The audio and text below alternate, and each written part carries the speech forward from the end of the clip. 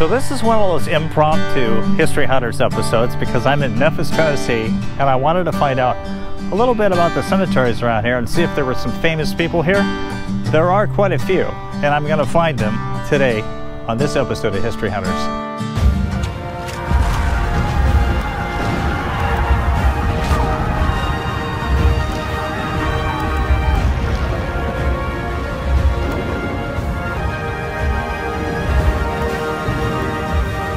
Whenever I find a new place in the country to visit, I always find out if there's going to be some celebrity graves. So this time, I found out that there are some in this cemetery, many who are associated with the country western music industry. And so I'm going to go check it out and see if I can find some of these. So I arrived here a while ago at this cemetery, and I have to say that I'm pretty impressed with the way it looks. It's a beautiful cemetery, if you can call a cemetery beautiful. So we're at the West Lawn section of the cemetery, close to South Yates Road. And right over here is Red West. You may recognize Red West if you saw his picture. He was in some westerns, but he was also one of Elvis's inner circle friends. The phrase, that's a wrap, is a director's call in Hollywood because Red West himself was an actor. Robert Gene Red West and Elvis Presley met each other while they were attending high school here in Memphis. West became a close confidant and bodyguard of Presley's and was a member of the Memphis Mafia. Not only did he appear in some of Elvis's movies, such as Viva Las Vegas, but West himself wrote songs for and with Elvis. The relationship came to an end when Vernon Presley who was Elvis's dad, fired West and his cousin Sonny West in 1976. That's when they wrote this tell all book that detailed how Elvis was abusing drugs, and their hope was that he would stop doing it and get some help. West also was a stuntman and actor, and you may have seen him on The Wild Wild West, and he was a regular on the TV show Baa Baa Black Sheep. He also appeared in Magnum PI. Apologize for the fact that they're mowing the grass here, but in this northern part of the cemetery is somebody that you probably have heard his music. It's Charlie Rich. Charlie Rich actually appeared in, I think, Every Which Way But Loose with Clint Eastwood, where he actually performed his song. Uh, was it Closed Doors? I think everybody knows that song. No one knows what goes on behind closed doors. When they turn out the lights I know she'll be leaving with me.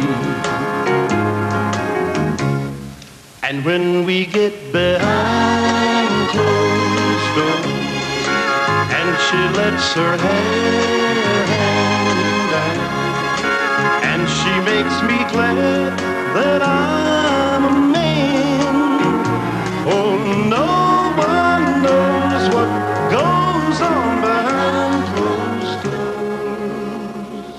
Charlie Rich is buried right here. Somewhere, here he is. I think it's a really cool tribute that his likeness is on this marker and that of his wife, Margaret Rich. She lived another 15 years after he died. Of course, Charlie must have been singing about his wife when he recorded Most Beautiful Girl. She loved jazz like he did, and they were married in 1952. Uh, we dated all through high school and uh, then one semester out of high school, we got uh, engaged, and six months after that, we got married. So uh, we kind of grew up together, uh, uh, from the same small town and all that in Forest City, Arkansas. Ironically, Charlie also recorded the song No Headstone on My Grave, but he does have one. So I wrote to Charlie just before he passed away, and I think from wherever he was, he sent me a signed photo and he sent me a couple of little commemorative cards that he signed. I think he sent me two pictures actually, and I think not long after that he passed away. So Charlie Rich was known as the Silver Fox. He was born in Arkansas to some poor parents who were cotton farmers. He got interested in music at a young age, and after serving in the Air Force, he came here to Memphis, where he performed in nightclubs after he made some demo records for Sun Records, Rich was told to keep working at it. His first top 30 hit was Lonely Weekends in 1960, and if you listen to that recording, it sounds very much like Elvis Presley. His career peaked in the 1970s. He recorded, he also wrote Behind Closed Doors, well, followed up that hit with The Most Beautiful Girl in the World, which was a hit on the pop charts. So I think that's pretty cool. He's one of the uh, celebrities I was trying to find out here in the cemetery. Again, it's an impromptu visit to the cemetery. But I thought it would be interesting because I don't think anybody on YouTube has come out here to feature these graves. Pretty expansive cemetery out here, just sprawling over some beautiful acreage, some well-maintained landscape. There's not a lot of celebrities buried here, but there are some. We're gonna find some more. If you're a big Bread fan, this name is very familiar to you. This is Jimmy Griffin, who was one of the founding members of the rock band Bread. Cancer is what claimed Jimmy Griffin at the age of 61 in 2005.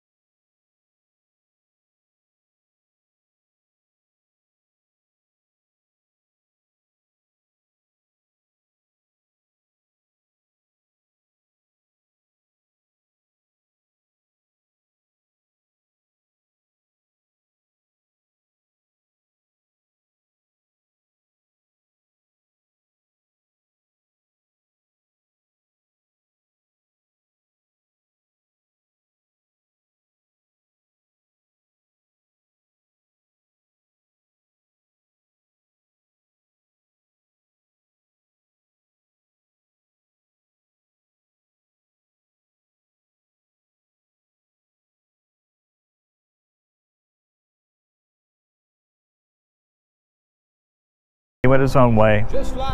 He found limited success in solo adventures and teaming up with other people.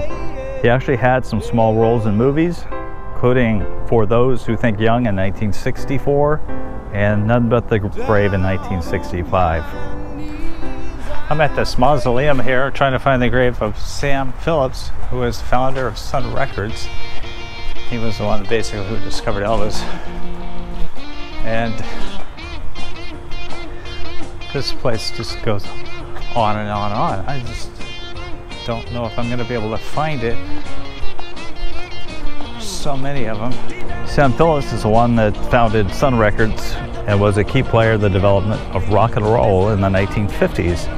Among the artists that he helped promote, besides Presley, were Roy Orbison, Jerry Lee Lewis, Carl Perkins, and Johnny Cash. Charlie Rich also recorded with them. He sold Presley's recording contract, if you can believe it, to RCA for a paltry $35,000. This place is huge. It's kind of underground too. It's a couple stories underground. And uh, I might just have to do what I've done in the past, and that is show you a picture of it.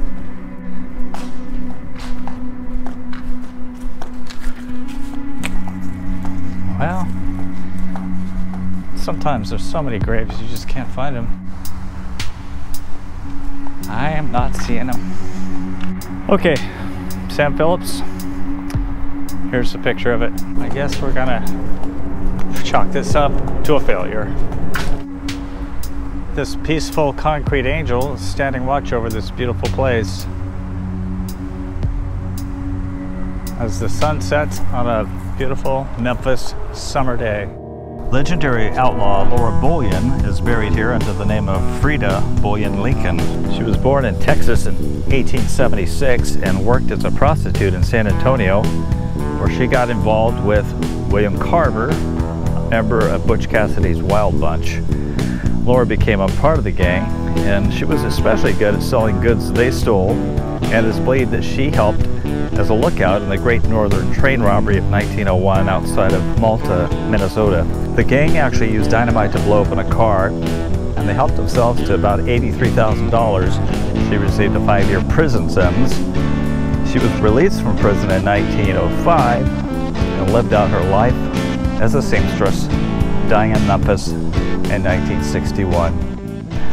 Marshall Grant, a bass player who played with Johnny Cash, and the Tennessee 2 is also buried here. And this special memorial is adorned with musical notes and a brass photo montage. Very cool.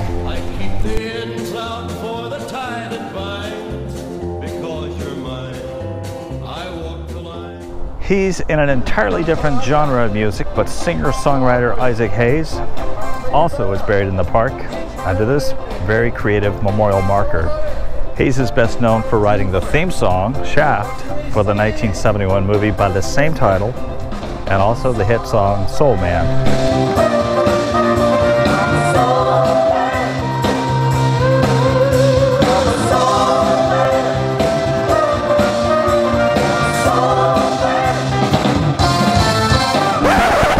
We've got one more celebrity here to talk about. It's James Pinkney Alley of the famous Hambone comic strip.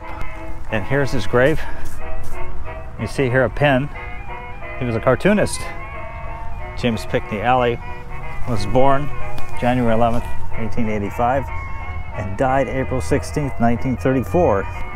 He was the mastermind behind this comic strip that ran from 1916 to 1968. It was called Hambone's Meditations. It was syndicated. It was a one-panel cartoon and originated with a newspaper here in Memphis, Tennessee, the Commercial Appeal, where it ran on the front page. The title character was a stereotypical African American man with wide eyes and exaggerated lips. He dispensed folk wisdom and caricature dialect. In our politically correct society, people would probably be a little off put by his humor. All right, I think I'm done here. That's a wrap. Just to quote Red West Grave, seen just about every grave that I intended to find here, except as you know, I didn't find Sam Phillips' grave. If you like what you saw, please give us a comment, a like, and also become a subscriber to this channel. Thank you so much.